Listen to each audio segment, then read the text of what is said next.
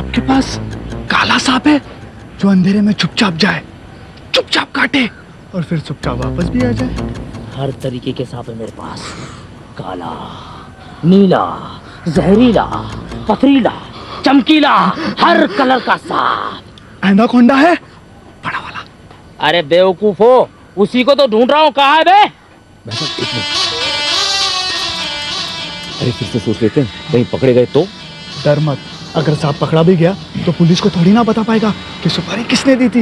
You know कभी कभी मुझे डाउट होता है कि तू सही में मेरा भाई है या पापा ने तुझे सड़क से उठा लिया तू भी सांप का बाप। भाई साहब आपके पास दो मुँह वाला सांप है जो एक साथ डस ले दोनों को हाँ? हाँ है एक ही मुँह वाला जो दो बार डसता है! हाँ, हम आपकी बातों पे नहीं जाने वाले। हाँ, टेस्ट करेंगे टेस्ट। कर लो टेस्ट करके देख लो। पप्पू तू एक काम कर पहले अपनी एक उंगली डाल और सांप से कटवा। कटवा बिंदास। फिर फटाक से दूसरी उंगली डाल देना। अगर सांप ने दोनों बार डस लिया ना मतलब he is right plan is successful तू मुझे शाम से कटवाने का प्लान बना रहा है। बलिदान ब्रदर बलिदान। सैक्रिफाइस हम में से किसी एक को तो देना पड़ेगा हाँ? टेंशन मिटाना है कि नहीं? तू टेंशन मिटा रहा है या मुझे मिटा रहा है?